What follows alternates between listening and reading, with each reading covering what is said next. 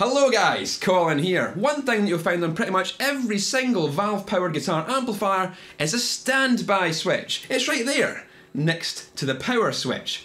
Conventional wisdom handed down from guitarist to guitarist is when you switch on your amplifier, you engage the power switch, wait a couple of minutes for the valves to heat up, and then switch on your standby. When you're switching off, you do the opposite. You switch the standby off, give it a couple of minutes and let the valves sit, and then power off your amp. We're told this is for the good of our valves, and that not religiously following this routine every single time will be detrimental to our amplifiers.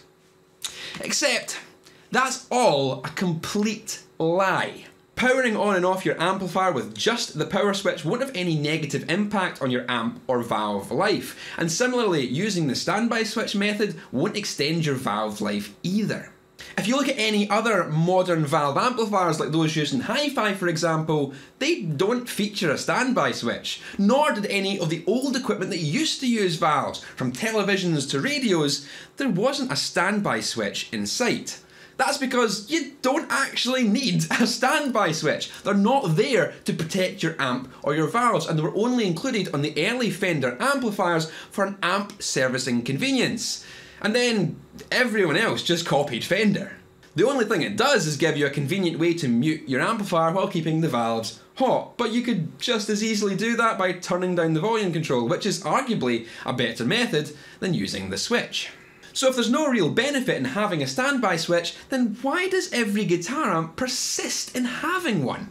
Well, it comes down to user expectation. There are many amp manufacturers who would love to get rid of the standby switch, and some have even released amplifiers without one. And immediately they've been inundated with phone calls and emails and letters from concerned customers screaming, Where's my standby switch? Will my amp costs these companies less to put an unnecessary switch on every amplifier they make than it does to answer your phone calls and emails. But Colin, what about cathode stripping? Well, I'm glad you brought that up, Barry. Cathode stripping is a phenomenon that occurs when the plate voltage is applied to the valve before it's fully heated up. This results in ions bombarding the cathode, stripping away its coating and leaving you with a broken valve.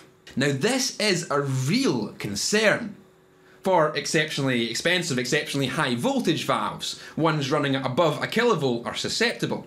Comparatively, the valves in your guitar amplifiers are much cheaper and running a much lower voltage, quite often below 500 volts. So there's absolutely no risk of you stripping the cathode of your 6L6 power tubes by not adhering to the myth of the standby switch.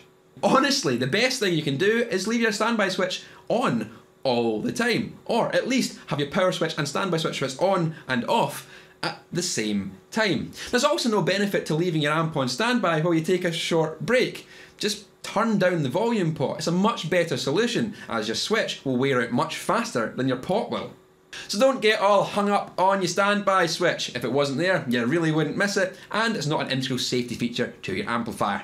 It's only there because we freak out when it isn't.